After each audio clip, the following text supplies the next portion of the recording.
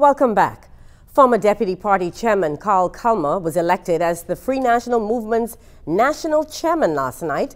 Culmer defeated his opponent, Grand Bahama native Howard Grant, 120 to 18 votes. Culmer thanked his family, the party's leadership, members, and supporters for placing their confidence in him to lead the party forward. He told ZNS News that one of his short-term goals is to prepare the, the FNM for the next general elections. We want to ensure that our government uh, meet the, uh, live up to the commitments, as well as we prepare our associations uh, to keep them active and vibrant, to ensure that the MPs are living up to their promises, to ensure that at the end of the day, we as FNM can deliver on, on our promises. I also want to get more women uh, candidates next, next election and more young people involved in politics.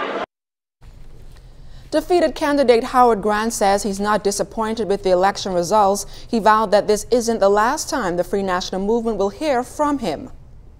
There's been much talk about the transition and the path that I've taken to get to this point. But it's very important that you know that my conviction has always been with me. So I'm happy to convey those convictions. And now that the council recognizes that this young man has a determination to move forward under the banner of the FNM, I'm sure that there'll be other opportunities I can move forward to.